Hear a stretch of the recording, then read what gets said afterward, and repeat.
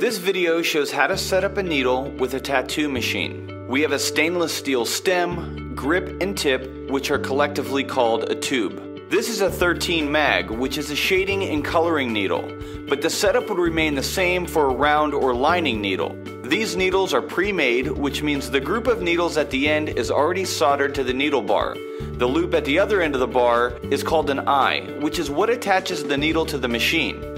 To assemble the tube, we connect the stem and the tip to the grip. This grip happens to use set screws to hold everything together.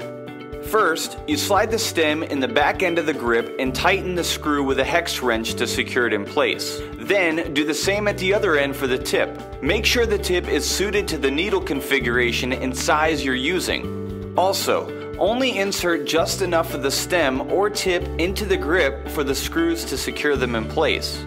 If the screws protrude like they do on this grip, you should try to align the screws in a fashion so there's no risk of you potentially ripping your glove.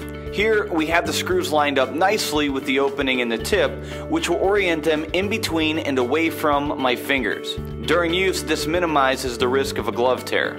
Once the tube is assembled, we next need to install our nipple or grommet. A nipple is a small rubber component you put on the end of the armature bar or A-bar before the needle is attached. That helps keep the needle eye snug on the A-bar.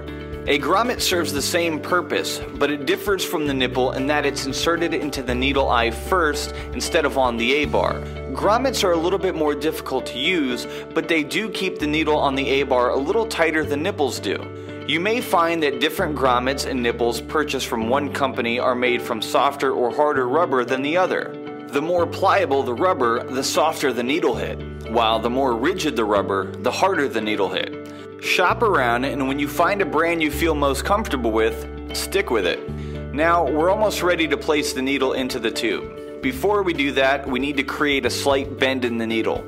This helps compensate for the bend applied by the rubber bands you wrap around the needle to help it keep from jumping around in the tube. The bend also helps the needle grouping sit flush in the tip. If you look closely at the needle, you'll see the bar is soldered onto the top of the needle grouping. With the bar on top and the needle configuration on the bottom, bend the needle upwards from the middle slightly. This amount of bend is just about right for a stainless steel tube. However, if you're using disposable tubes, make sure you don't put too much bend on the needle as the plastic tends to create more friction. Make sure you put the needle in with the needle configuration underneath the bar so it will sit in the tip correctly. Carefully insert the needle into the tube. If you have a three-piece tube like we do here, be careful not to bang the needle on the upper edge of the tip that sits inside the tube. You might also need to slightly lift the needle to avoid the edge of the reservoir, which sits just inside the end of the tip. If you feel some resistance while pushing the needle through the tube, do not continue to push and try to force the needle. Instead, pull back on the needle a little, lift it slightly within the tube, and then continue to push. Damaged or barbed needles can lead to skin getting torn up, so take your time when inserting the needle.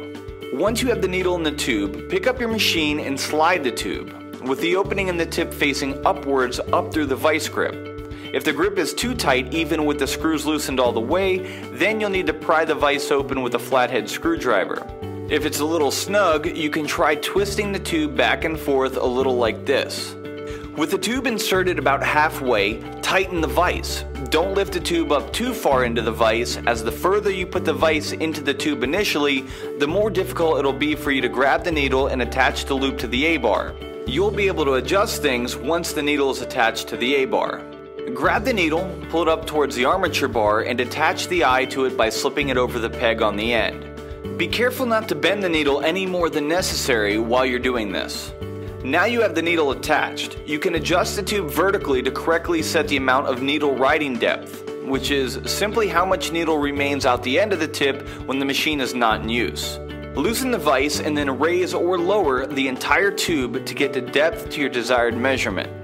The final step is to attach your rubber bands. We suggest using two or three rubber bands because if one breaks, you don't have to worry about your needle jumping off track while it's in someone's skin.